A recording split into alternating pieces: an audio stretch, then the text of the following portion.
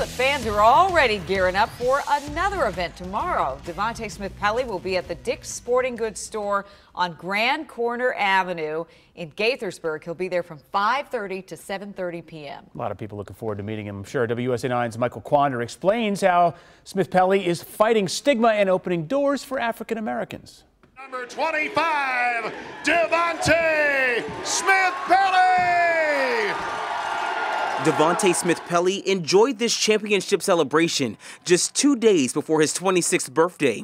Our cameras captured the Canadian player rocking this specially made belt on Tuesday. Look at the belt on Devante Smith Pelly. Oh, WWE, baby. Smith Pelly had key roles in the Caps winning the Stanley Cup. We see you. For some fans, he's also changing perceptions. It makes a hell of a difference. And breaking stereotypes. You got African Americans that play hockey, that love hockey, love sports. He faced everything from barely making the team to racism. Some say Devante Smith Pelly definitely had his share of adversity. Devante Smith Pelly, this is what it looked like. Smith Pelly's name was first hurled into the spotlight back in February, but it wasn't good news. They started it, definitely Smith Pelly, very unhappy. Four fans sitting next to the penalty box during a game in Chicago shouted racial slurs, telling Smith Pelly he was in the wrong sport by repeatedly chanting basketball basketball. It's it's sad. I mean that 2018 we're still talking about the same thing. The fans apologized and raised nearly $20,000 in donations for Fort DuPont Ice Rink in Southeast DC. I mean, he was on seven different teams. He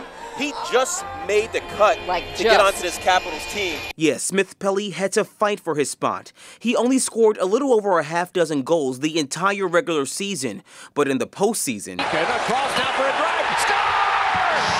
Number 25 shined, scoring seven goals that helped set up his team for a win. It also opens the door to let young black African Americans know that, hey, I can do this. Keep doing what you're doing, man. Um, I, I look up to you. In downtown Washington, Michael Quander. Keep doing the doggone thing. WUSA 9. Now, Smith Pelly said he'd been dreaming about this win since he was a little kid.